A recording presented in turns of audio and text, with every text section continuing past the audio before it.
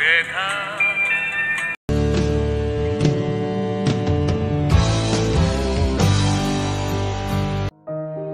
Pumanaw na sa edad na 74 ang mga awit na si Ichiro Mizuki noong ika-6 ng Desyembre. Si Mizuki ang umawit ng ending song ng sikat na anime noong 70s na Volts 5 na Chichiwo Moto Merte. Nabunyag kamakailan na nasuri si Mizuki na may cancer sa baga nitong Hulyo, bago yan ay nagkaroon din siya ng partial paralysis sa kanyang vocal cord noong Abril nitong nakaraang taon. Si Mizuki din ang umawit ng theme song ng iba pang anime gaya ng Kamen Rider,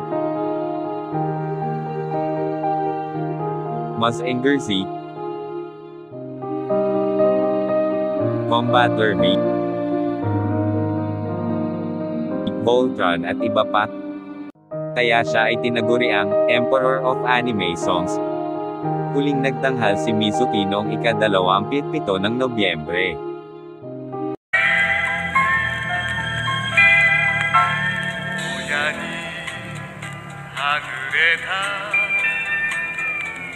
나도